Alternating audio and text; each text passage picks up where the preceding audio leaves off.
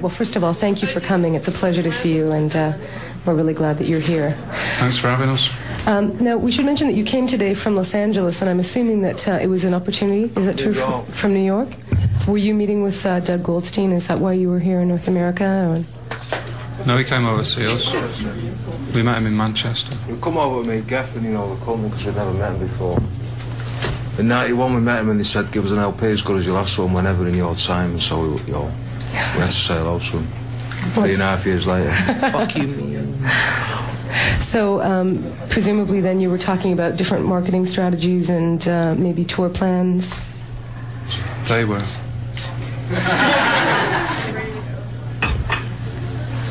Do you want to shed any light on what they were sort of talking about? Is there is there plans afoot He to come over? talks a lot about food. They eat a lot of food in LA, you know. I thought you said you were in like New York. food, you like Chinese food, you like this food. Have you eaten yet?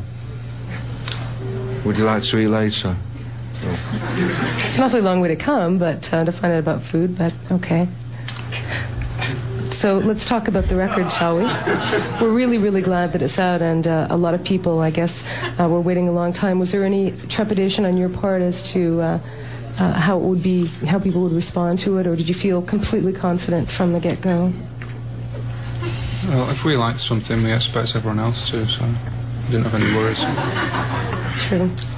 Um, certainly, uh, some people had sort of, in terms of, of critically, uh, rather than pending, spending a lot of attention on the, the actual music, people seem to look at it from the barometer of how long it took to make or how long it was between records.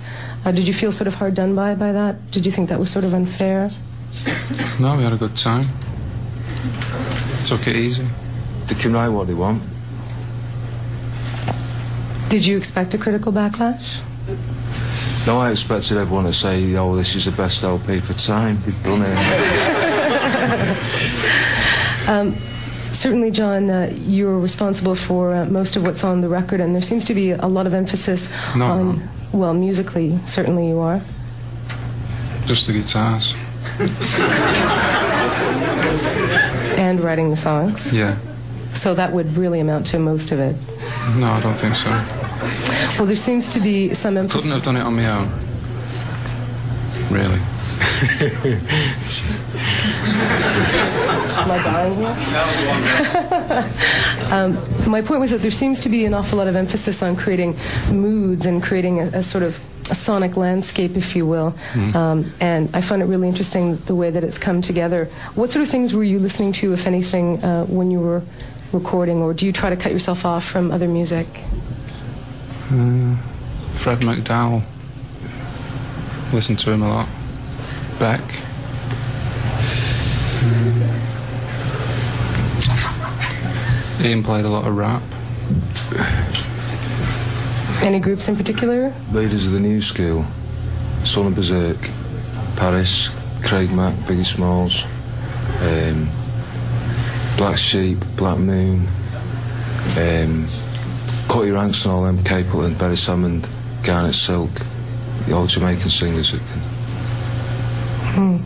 Um, you recorded in Wales, and I'm wondering um, if one of the reasons that you decided to do that was to sort of seclude yourself a little bit from England and from the English scene, uh, if that was part of your reasoning to get into a place that was a little bit further away.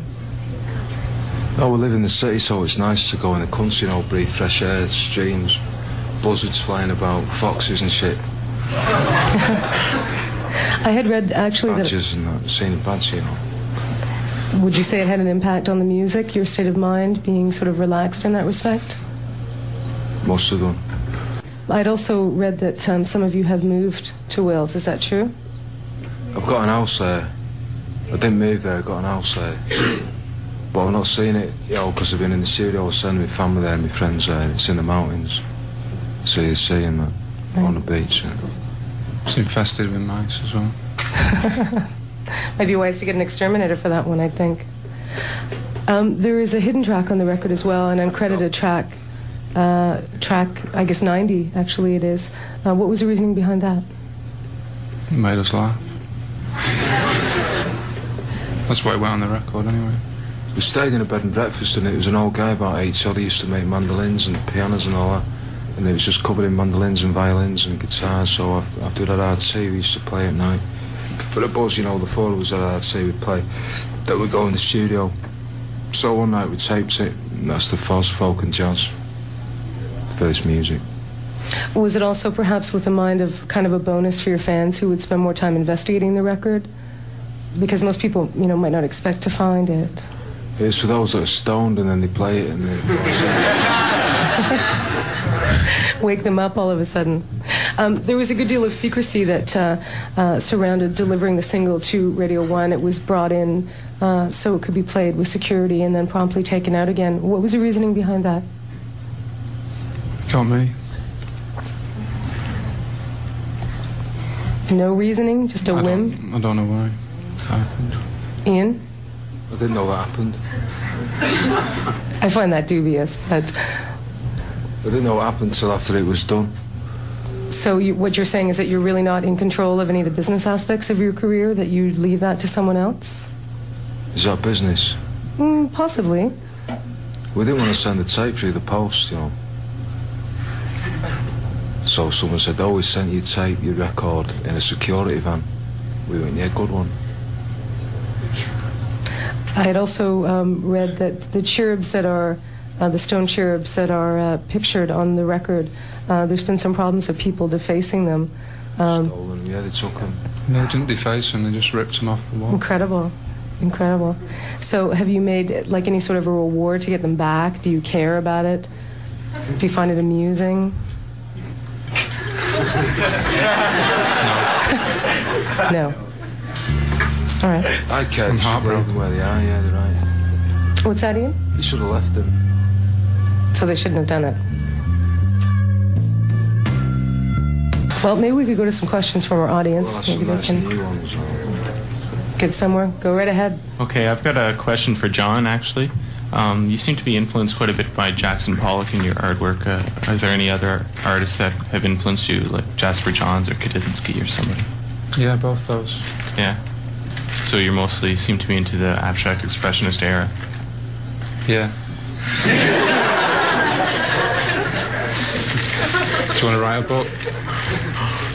It's for Ian. Um, do you feel you've created an album better than What's Going On, Marvin Gaye? No, not yet. That's all I want to know. This is for John. I, I just want to know um, how long you've been playing guitar, and if you're like classically trained, or you just taught yourself everything. Uh, I got most of it from a book by Harvey Vincent. Yeah. How long have you been playing now in total? Um, well, I'm 32. Started when I was 14. Three Failed blind in mice, maths. that's it. Okay. Thanks a lot. Okay. Um, I noticed in your song "Driving South" you have a lyric about going down on the crossroads. I was just wondering if you're influenced by early blues or later blues. There's Yeah. a lot of them devils out there. We come across loads of them, you know. Yeah. They either want to sell you guns, or give you an ounce of crack, or, you know what I mean, whatever. Any more? Yeah, this is for Ian. Uh, where do you think you'll be in five years?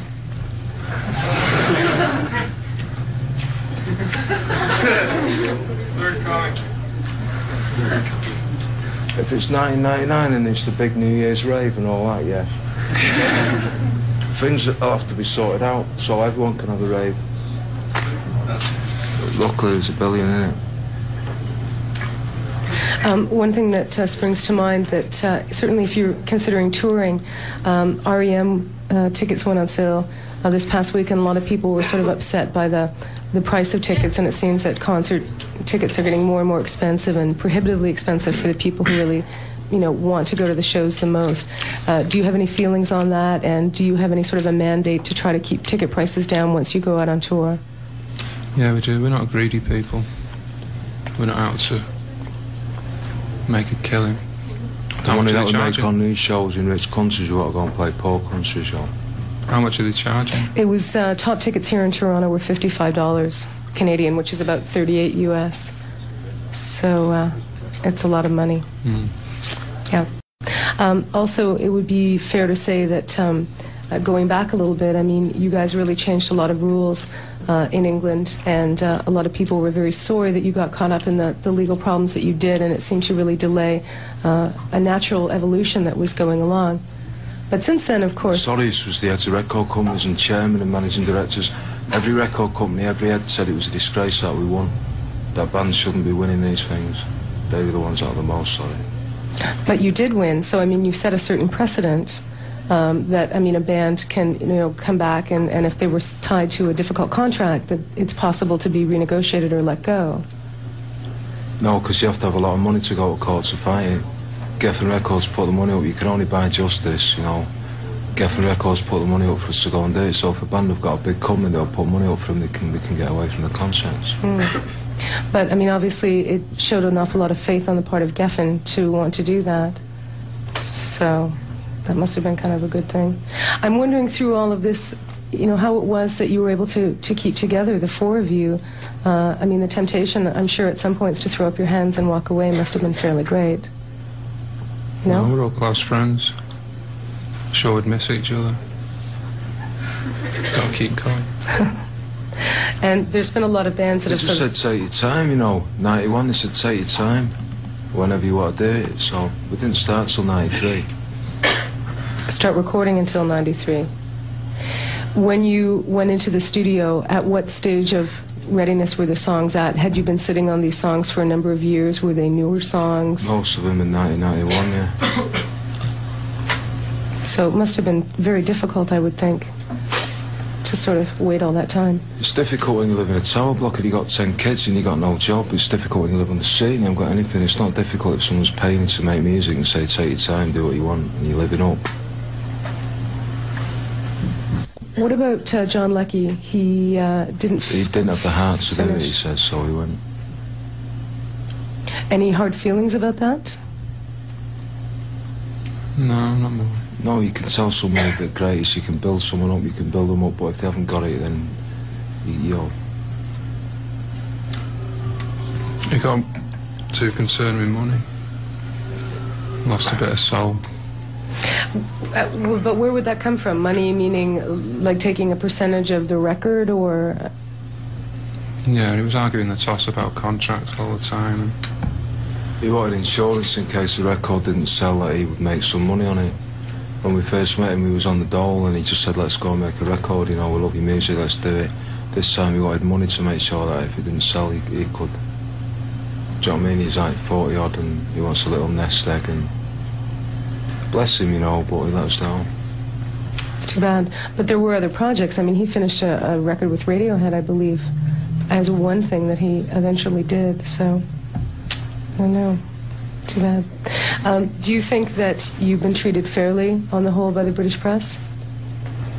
don't care. Honestly. So then it was sort of happenstance that you didn't end up doing any interviews with them for this record. No, we had a rumour that we were going to do the big issue. Thought it was a good idea, so we did it. And there wasn't any sort of kind of statement in that, any kind of a political statement of going to. Well, we uh, didn't intend to wind the press up. We got upset because we didn't talk to him. That was the net result. Though. Some of them are like 40 odd grown men, you know. But I think that it's important in a country like England where radio is fairly restricted to try to get the word out to Stone Roses fans that, you know, you have a new record or a new single. The press, you know, they ignored us when we started up. We'd be playing at 3,000 in Manchester. They ignored us, and as soon as people started coming to see us, then they wanted to jump on it. So they think that they create something, but they don't they just follow what people want to do, you know. What do you think of Oasis? They're our proteges, you know, we love them. Sincerely? Yeah, you know. Keep that boy off the powders and they'll go. Are there any other bands from the, the current scene that are recording now that you would consider friends or contemporaries, or are you at a sort of a distance? Like the only Beck. people I know are is Liam and, and uh, Happy Mondays, I don't know anyone else. We met Beck the other day. He's nice. And what's the status uh, of Happy Mondays? I mean, uh, is there any talk of perhaps getting Yeah, back they're called together? Black Grape now. Sean's doing Black Grape. Just Sean uh, and Bez. Bez on keyboards, Kid from Rufus Lap- uh, Rap Assassins, and um, they've got a drummer, a guitarist, a hard funk sort of guy. Hmm. Excellent. So, uh, what's next for you guys? I mean, are you just going to put your entire weight behind touring uh, for the next little while, or are you already looking at perhaps putting out? Did you maybe accumulate enough material that you can put out another record straight away, or what's the goal? What's the plan? Uh, we're going to tour all year, right on the road, and get in the studio whenever the opportunity arises. Do a live LP this year. That's interesting. That'd be great. Um, just to get back to your uh, artwork for a minute, um, have you ever had any kind of a, a showing in a gallery? Would that be something that you might like to sort of grow into or experiment with more? No, not really. That was auctioned. uh, The new album cover recently. That's as close as I've got to showing anything. And it's not a particular ambition? No. Any other questions from the audience? Are you guys going to play Lollapalooza? I wish. Do you think we should? No, no, no, no, no, no, no, I see some hands. no, no. Yeah? Nose? Yeah, no. What about uh, bigger English festivals, Glastonbury? Yeah, perhaps? Glastonbury, yeah. You're confirmed for that? Yeah, Saturday night, yeah. That'd be great. Yeah. Really great. Anybody else? When you do tour, are- is it just going to be the four of you? You're not Cressa this time. If we can find him, yeah. Would you consider taking any offers to go out with another group, albeit on a co-headline bill? But is there uh, any group that you might be interested in? I'd in? like to take the Watts Prophets. Three old guys are like 55 and, and they put the first rap tune out at 69. I think that one, a lot of people will be off their heads, you know, on the shows. So, yeah, no, they've done it before the Last Poets. Two years before the Last Poets. Bring them on, everyone's wrecked. Anyone else? Um, it was kind of men- mentioned in the big issue that if you were going to do concerts, you were going to announce it the night of. Are you going to go ahead and do things In like England, that? Just in England, like Yeah. so you're for sure.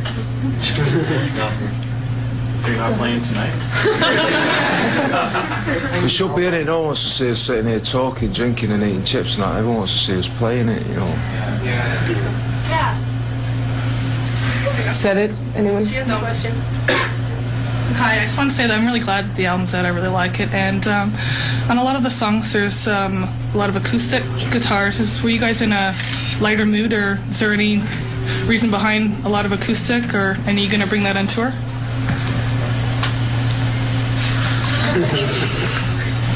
No, I don't think we'll tour that kind of sound, no. Sorry. I don't think we'll take it on tour. I like to play loud. Adds a lot to the album. I really like. Pardon? It adds a lot to the songs on that Right. particular songs. Does that mean you're not going to do Unplugged then? All right, well, if that's it,